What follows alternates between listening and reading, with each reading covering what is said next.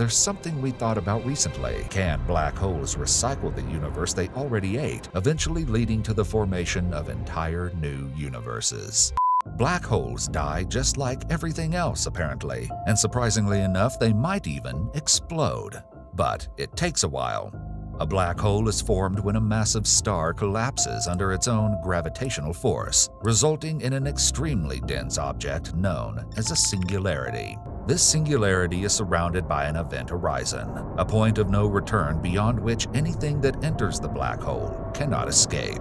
Most people think that black holes just sit there and eat everything on their way. That's partially true. Black holes eat a lot. The amount of matter that black holes consume or accrete depends on several factors, including the size of the black hole and the surrounding environment. Smaller black holes, with masses similar to that of our Sun, can accrete matter from nearby stars and gas clouds. This process can result in the emission of X-rays and other high-energy radiation as the matter heats up and becomes denser as it falls into the black hole.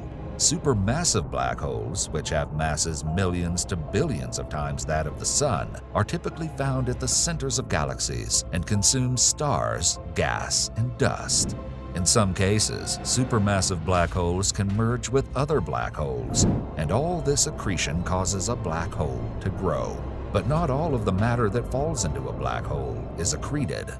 Some of it can be ejected back into the surrounding environment in the form of powerful outflows known as jets. The amount of matter that's accreted versus ejected can depend on various factors, including the spin and magnetic field of the black hole, as well as the surrounding environment. But black holes don't just eat, they also lose mass. And there comes a point when there's nothing to consume, so they just keep losing mass until they eventually die. The concept of a black hole's death was first proposed by Stephen Hawking in 1974.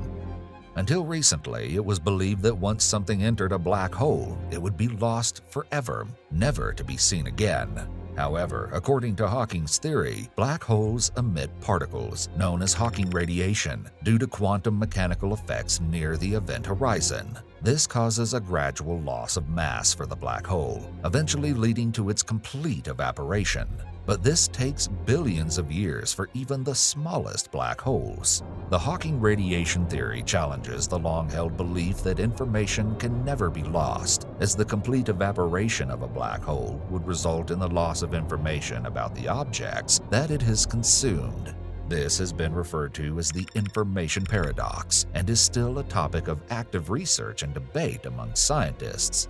What's mind-boggling is that the death of black holes has implications for the future of the universe. As black holes evaporate, they release energy back into the universe, which could potentially play a role in shaping the future of the cosmos.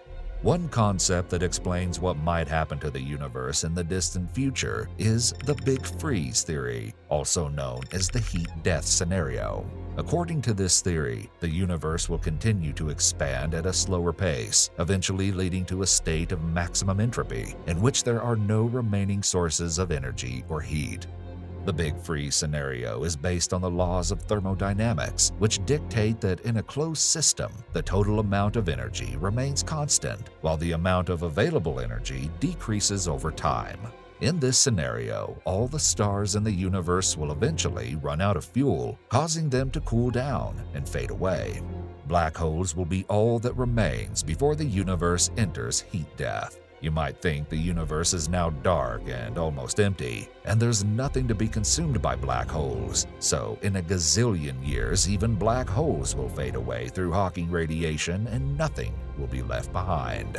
But there's something we thought about recently. How can nothing be left if black holes are emitting some form of radiation back into the universe? Can black holes recycle the universe they already ate and create a new cosmic cycle? Imagine that the universe is not just made up of physical matter, but also of a mysterious and powerful energy known as quintessence. This energy can be harnessed and used to create new universes, stars, and galaxies.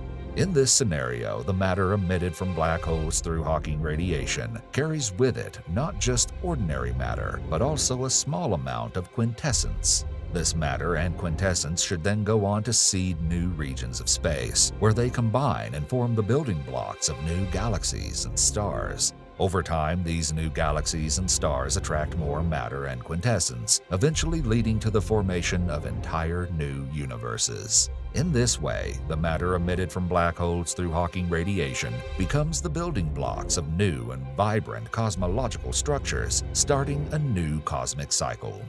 In this scenario, black holes could be seen as the engines of cosmic creation, transforming the matter they consume into the building blocks of new universes. The cycle of death and rebirth that occurs within black holes would be a vital part of the ongoing evolution of the universe, providing the seeds for new life and new cosmological structures. This idea might even relate somehow to conformal cyclic cosmology, a theory of cosmology proposed by Sir Roger Penrose, a mathematical physicist. The theory suggests that the universe is cyclical, with each cycle beginning with a Big Bang and ending with a Big Crunch, followed by a new Big Bang. We've talked about this in a previous video, which I will link below. However, this scenario that black holes can recycle matter and create a new universe is just an idea, and we invite you all to give us your thoughts about this in the comments below. While the exact process and details of black hole evaporation are still not fully understood, it's clear that the death of black holes will play a significant role in shaping our understanding of the cosmos and its future. As scientists continue to study this phenomenon, we can expect to learn even more about the mysteries of black holes and the universe as a whole. Don't forget to watch the video on the right and subscribe. Thanks for being part of Cosmoknowledge.